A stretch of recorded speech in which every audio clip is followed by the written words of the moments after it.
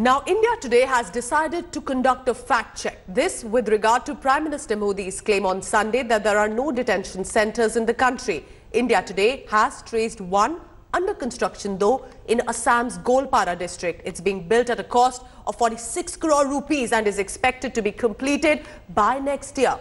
Karnataka, in fact, has also opened one of its first detention centre, as it is being called, uh, officially not yet, but located 40 kilometres from Bengaluru. Here's what India Today found inside these detention centres. Take a look.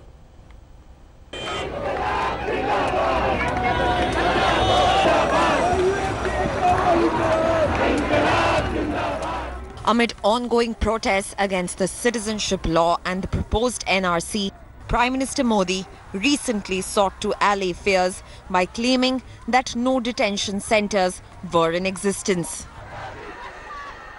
Congress और urban नक्सलियों द्वारा उड़ाई गई detention centre के अफवाह सरासर झूठ hai. But when India Today traveled to Assam, we found one in Matia in Goalpara district of the state. The detention centre, which is under construction, is being built at a cost of 46 crores. Once ready, it will be able to house 3,000 detainees. The first detention center of the country in Assam has already missed its first deadline. Even though it was scheduled to complete in December 2019, now it only seems 2020 that it would see its completion. But for now, the fact that this 15-storied building will be housing 3,000 foreign nationals and will be the first answer on what has been going on on various political platforms. The work on the project started in December last year and is slated to be completed by next year. पहले enclosure wall हुआ है। Enclosure wall के भीतर में एक सब enclosure हुआ है वो फीमेल के लिए। उसके बाद इधर में स्कूल है हॉस्पिटल्स है और फोर स्टोरी बिल्डिंग फिफ्टीन होगा। दो फीमेल के लिए और थर्टीन मेल के लिए। वो अभी पीछे लेट्रिन है बाथरूम है वो पुलिस ब्रेक है और ये एडमिनिस्ट्रेशन बिल्डिंग है। Inside the detention centres, there will be a mass kitchen with dining and resting area, hospital and schools for children. The next building is the kitchen as well as the dining hall. These, these are counters that are being made where the people who will be staying here, those specially identified foreign nationals in the detention centres, will be allowed to collect their food from here and have it here instead. The work, however, has been delayed due to rains. बस के मतलब अभी एक साल से काम हो रहा है यहाँ एक साल से काम हो रहा है लेकिन दो महीने पूरा काम स्टॉप था दो महीने स्टॉप था अभी पूरा चालू हो गया काम Currently, Assam has six detention centers being run from the district jail premises at Dibrugarh, Silchar, Tezpur, Jorhat, Kokrajhar and Golpara. The government of India in 2009 initiated the process and almost six jails were then turned into detention centers.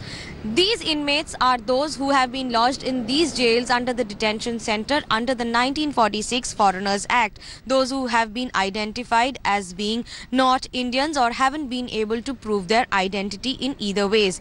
This also comes with a lot of guidelines of providing basic humanitarian amenities to those who are lodged in and who haven't been able to prove their nationality. Those released from these detention camps have a traumatic story to tell. যেখানে আমাকে নিয়ে গেছিল নরক খাওয়ান। নরকের মতন আরে লোক লোক লোকে লোক বলে ভাবে না। হ্যাঁ মানুষে মানুষ বলে ভাবে না। ওইখানে কি লোক থাকে? তিন বছর ছয় মাস ওইখানে থাকছি। মাথা পাগল মতন থাকছে।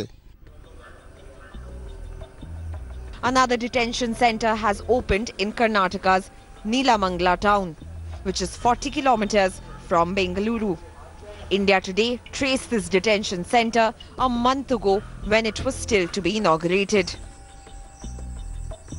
this detention center has come up on the outskirts of Bengaluru, yet to be inaugurated. And there was also speculations that the Karnataka government would use this for NRCs, uh, NRC uh, after it comes into place. This would be the detention center for the NRC uh, policy. But uh, recently the government has clarified that it has dropped the plan of uh, NRC and this would be used only for foreigners who overstay their visa tenure.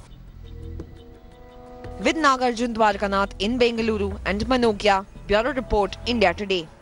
Thanks for watching the video.